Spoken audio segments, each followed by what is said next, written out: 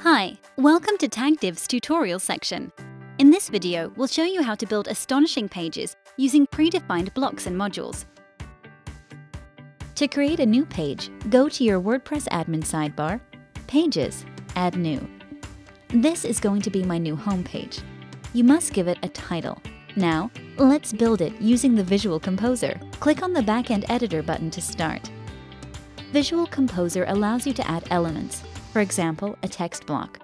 But it also helps you design your new page, suggesting predefined homepage template. These predefined templates are the ones you can see on the theme demos. On the right side, you will find the page attributes. This template comes with an article list with pagination.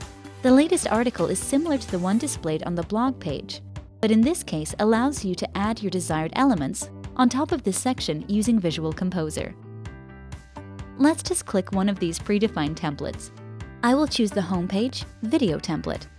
But I'm not going to use video files, but usual text and image content. Click on the template to select it. Now all the rows, blocks, sidebar, and boxes are already imported on my new page. Now click Publish to save settings. Yes, it's that simple.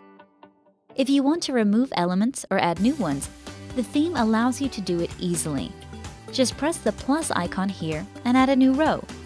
This is going to be added at the end of the page. Now click this icon to add a block inside the row. Here are all the elements and blocks you can combine on your page or on a post. I want to add a new slider to my home page. Click on it to add it to the page. The Block Settings panel automatically opens to configure this block. In this case, I will set the slider autoplay speed, the number of posts, a custom title, and colors.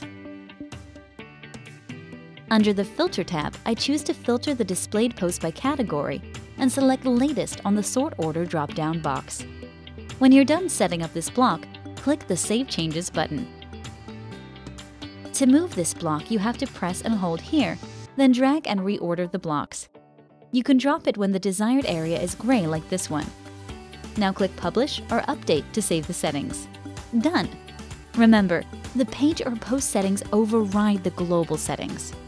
For more in-depth information, please refer to our theme documentation. I hope you'll enjoy building new pages for your website as much as I am using themes for smart people. Thank you for watching.